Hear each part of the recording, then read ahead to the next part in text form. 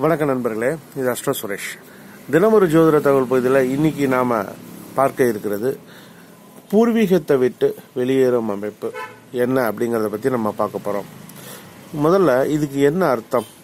அதாவது தான் பிறந்த ஊரை விட்டு வெளியேறி அதாவது தொழில் காரணமாகவோ திருமணத்தை பேஸ் பண்ணியோ அல்லது தன்னுடைய குழந்தைகளுக்கு படிப்புக்காகவோ அல்லது அனைத்தையும் இழந்துவிட்டு வேறு வழி இல்லை அப்படிங்கிற ஒரு காரணத்துக்காகவோ என்ன காரணம் வேண்டுமானாலும் இருக்கலாம்.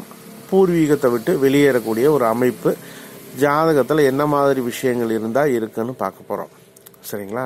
இப்போ பூர்வீகத்தை விட்டு போகிறோம் அப்படின்னா அது இருக்கிறதெல்லாம் அழிச்சிட்டு தான் போகிறோம் அப்படிங்கிற மாதிரிலாம் கிடையாது.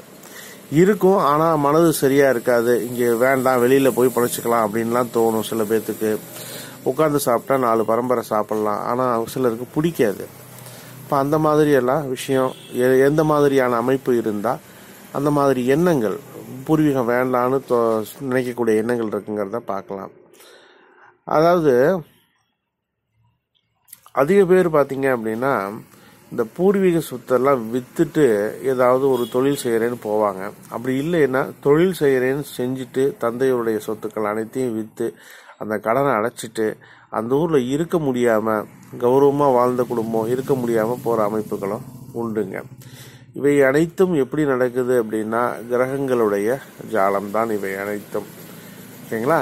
சரி இப்போ எந்த மாதிரியான விஷயங்கள் ஜாதகத்தில் இருக்கும் அப்படின்னு பார்க்கலாம். முதல்ல உள்ளூரை குறிக்கக்கூடிய கிரகம் நான்காம் பாவங்க.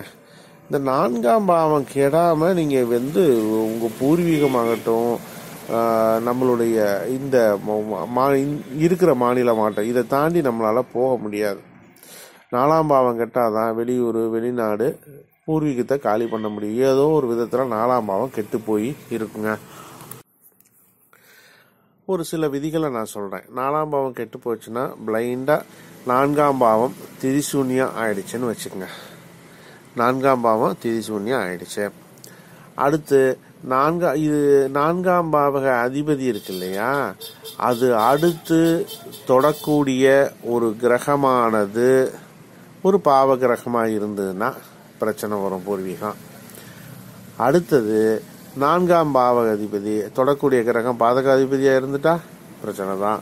நான்காம் பாவகத்தில் பாதகாதிபதியே போய் அமர்ந்திருந்தாலும் பிரச்சனை தான். சரிங்களா? ஸோ இப்போ உங்களுக்கு தெரிந்த வகையில் ஏன் எந்த இப்போ நாலாம் அதிபதி நீச்சமாக போயிடுச்சு. ஒரு நீச்ச கிரகம் அங்கே வந்து உட்காந்துருச்சு அது இல்லாமல் வேற ஒரு திதிசூன்யம் வாங்கின ஒரு கிரகம் வேற ஒரு பாவம் திதிசூன்யம் வாங்கியிருக்கு. அந்த பாவ அதிபதி இங்கே வந்து உட்காந்துருச்சு நாலாம் பாவத்தில். இந்த நாலாம் பாவமும் திதிசூன்யம் ஆயிடுச்சு அப்படின்னா கடுமையான பாதிப்புகளை அது கொடுக்குற மாதிரி வந்துடும். ஓகேங்களா? ரைட் இது வந்து நான்காம் பாவம் கேட்டால் இப்போ உள்ளூர் உங்களுக்கு சரியாக வராது. பூர்வீகத்தை விட்டு வெளியே போகிற மாதிரி அமைப்பு வெளியே போய் தான் ஆகணுங்கிற மாதிரி வந்துடும். சரி வேறு என்னென்னா மூணாம் பாவமும் கெட்டு போச்சு அப்படின்னா பூர்வீகத்தெல்லாம் நிறைய பிரச்சனைகள் உண்டாகும். புரியுதுங்களா? மூணாம் பாவம் கெட்டாலும் பிரச்சனைகள் உண்டாகும். அடுத்து ஐந்தாம் பாவம் கெட்டாலும் பூர்வீக சொத்தால் பிரயோஜனம் இருக்காது. எல்லாம் இருக்கும் அது அதனால அஞ்சு பைசாக்கு பிரயோஜனம் இருக்காது. வெளியூர் போயிடுவாங்க எல்லாம் இருக்குது நிறையா இருக்குது. நம்மளால் அங்கே போக முடியல அதனால் அனுபவிக்க முடியல அப்படின்னு சிம்பிளாக சொல்லிடுவாங்க.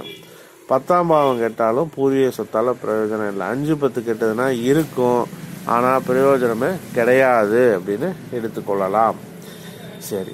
வேறு சில எந்த மாதிரி இருக்கும் அப்படின்னா நம்ம பாவங்களை விட்டுட்டு யோகங்கள் இருக்கு இல்லையா?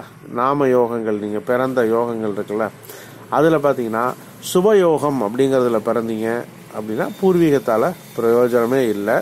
திருதியில் பிறந்தாலும் பிரயோஜனம் இல்லை வைதுருதியில் பிறந்தாலும் சரி வைதுருதி சௌபாக்கியம் இதெல்லாம் பிறந்திருந்தீங்க அப்படின்னா சுபம் திருத்தி திருதியோகம் வைதுருதி சௌபாக்கியம். இந்த மாதிரியான யோகங்களில் பிறந்திருந்தோன்னா பூர்வீகத்தை விட்டு வெளியே போகிற அமைப்பே இருக்கும். புரியுதுங்களா?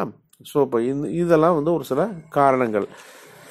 இந்த காரணங்கள் இருந்தது அப்படின்னா கண்டிப்பாக பூர்வீகம் உங்களுக்கு சிறப்பு இல்லை அப்படின்னு சொல்லி இந்த பதிவை முடிச்சுக்கிறேன். மீண்டும் வேறொரு பதிவில் நாளைக்கு நான் உங்களை சந்திக்கின்றேன். அகத்தியமே சத்தியம் சத்தியமே அகத்தியம். நன்றி நண்பர்களே.